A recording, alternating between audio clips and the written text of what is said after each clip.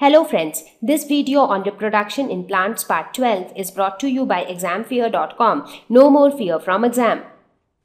So let us now talk about the reproductive structure that is flower in more detail. So what is a flower? So we all see a lot of beautiful flowers around us, red, green, blue, yellow in colors. So what are these? These are the reproductive organ of the flowering plant. So you can understand how crucial a flower is for the plant because if there is no flower, the plant will not be able to reproduce to give rise to new plants. So flower is nothing but a modified shoot. Now this is interesting to know. Many of you might have felt that flower is a different thing but actually flower is nothing but a part of the shoot which has been modified to form a flower. It's like you have roots which grow below the ground. You have shoots which grow above the ground. So you would have seen that flowers are always present either on the terminal end of a shoot or on the branches coming out from the shoot. So the flowers are nothing but they are also modified part of the shoot so if you talk about the structure of the flower, so let's look at this simple diagram of a flower to understand the various parts of it. So we will quickly look at the various parts. So this is the stalk of the flower you see this uh, you know the tube like structure which actually acts as the holder for the flower because it is holding the flower above it. So this is called the stalk of the flower. The stalk has a swollen end above and this swollen end is called thalamus. So this is called the swollen upper part of the stalk is thalamus.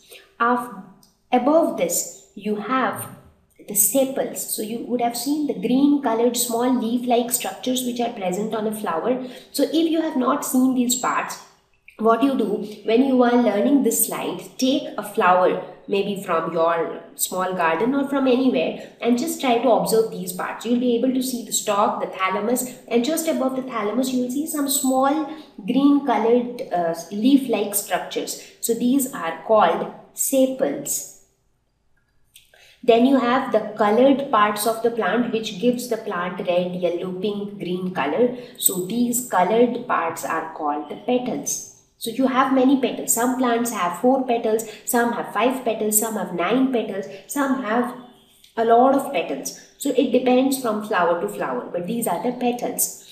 Now, so these this is all that you can observe from outside. Now, if you peep inside, so from above you try to see what is there inside the flower. You will be able to see the male reproductive organ which is called stamen. So inside you will see these are the male reproductive organs. You see green colored structure with yellow heads. So these are the male reproductive structures called stamens and at the center of the flower the perfect center you again see a swollen structure at the base and a long tube like structure above it. So this part is the female reproductive structure which is called the carpel. So stamen is the male reproductive structure and carpel is the female reproductive structure. Now one question that you might ask me that can we see the male and the female reproductive structure in all the flowers?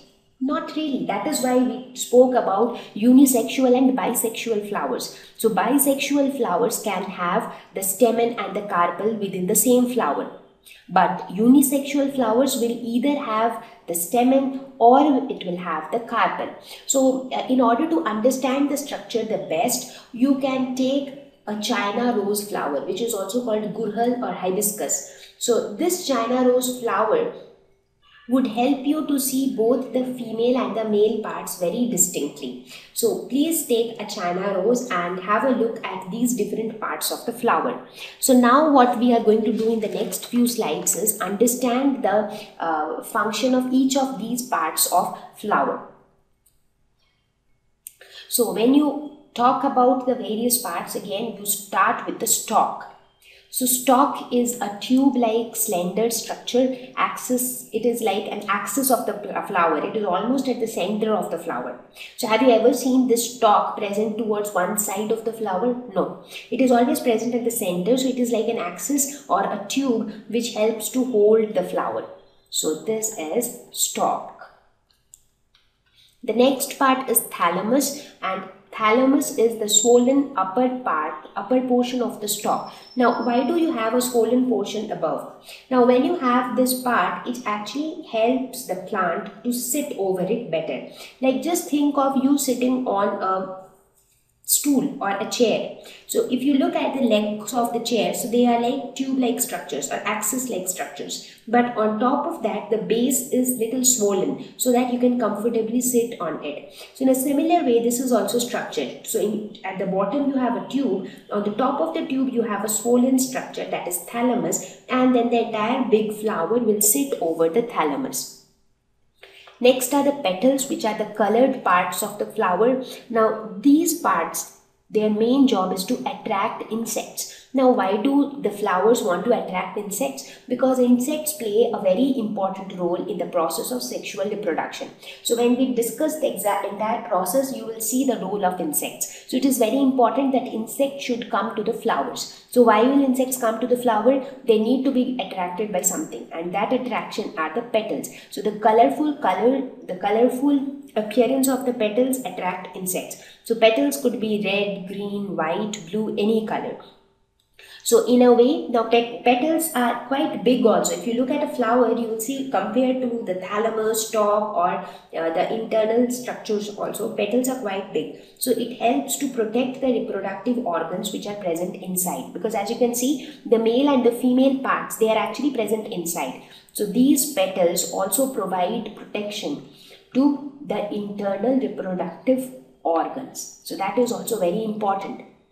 Next is sepals and sepals also uh, ensure protection. So these structures, the green structures are called sepals. Now you might say that if I look at a flower, I feel that sepals are very small. Then how do they protect the flower? Now, sepals protect the flower when the flower was a bud. So, how do you get that flower? Initially, it was a bud.